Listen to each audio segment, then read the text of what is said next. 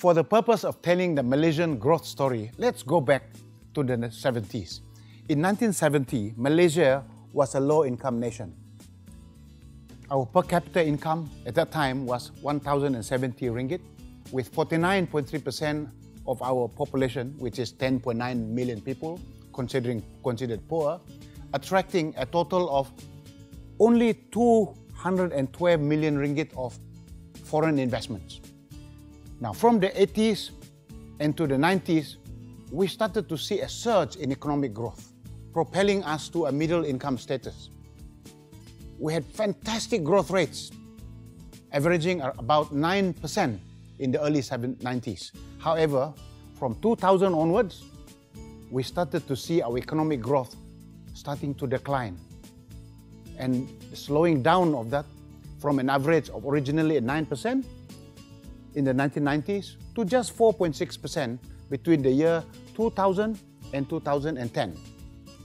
Now, many countries that started at just the same base as Malaysia, they started then to overtake us. Countries like South Korea, Taiwan, Singapore quickly broke away to grow their economy to hit high income levels by the year 2000. Now, what did these countries do? You may want to ask. In the labs, in the workshop that we did, we look at all these countries that have successfully made. Two points stood out. They were about focus and competitiveness.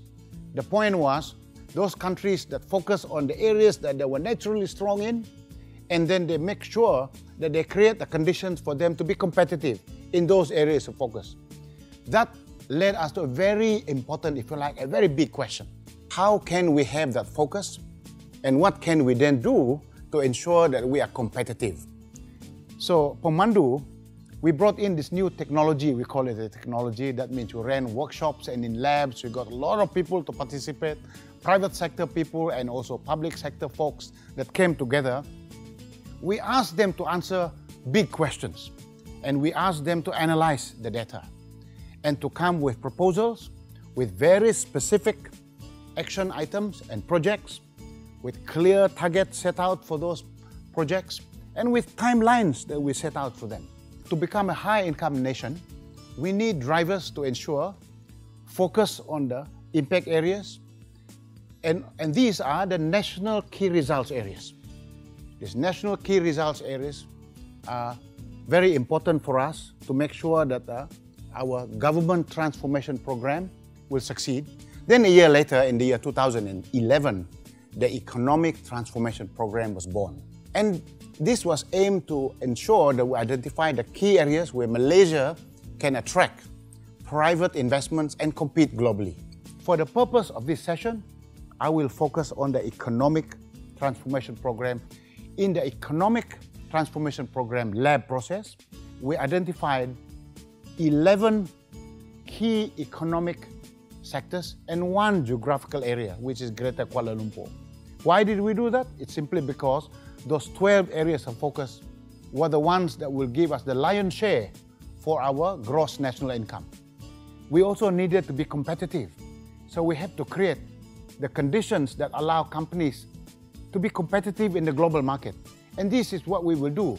We will then make sure that we'll have the six areas that are cross-cutting, we call them strategic reform initiatives that we will implement. But I will spend more time to talk about this later. For now, I will call these measures the true north. We will need to grow our gross national income to reach 1.7 trillion ringgit by the year 2020. And for this to happen, we need investments. You cannot have a growth in the economy without investments. The total amount of investments that we envisage that we need to have between now and the year 2020 is 1.4 trillion ringgit. That's a lot of investments that we need to put in place. A third thing. The third thing is to create a 3.3 million new jobs. Why do we need to create jobs? You know, if you have a lot of gross national income, you do not have the jobs, there's no way you can share the prosperity of the nation with the public. So we need to create those jobs.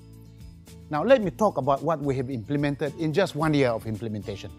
I can tell you the achievement in just one year is nothing short of astounding.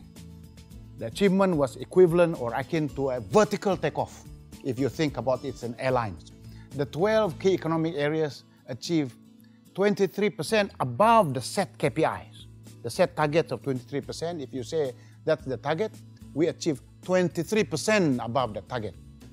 The confidence created has had an immediate knock-on effect on the economy. In fact, according to the latest 2011 data by the Department of Statistics and also Bank Negara, private investments at 94 billion ringgit are the highest in five years.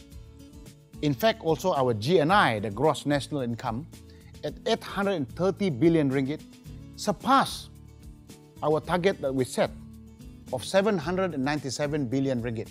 So that's fantastic for us. In fact, that number of 830 billion ringgit is the highest GNI that we've achieved since independence.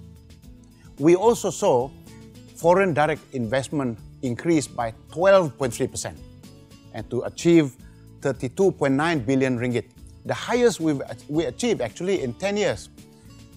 Now, when you look at our total trade, our trade numbers grew at a phenomenal pace at 8.7%, considering the global economy was going through a slowdown, and uh, we, we, re we reached a new height of 1.27 trillion ringgit last year. In fact, in our history, there were only two times, that means two years in our history, that have reached the same number.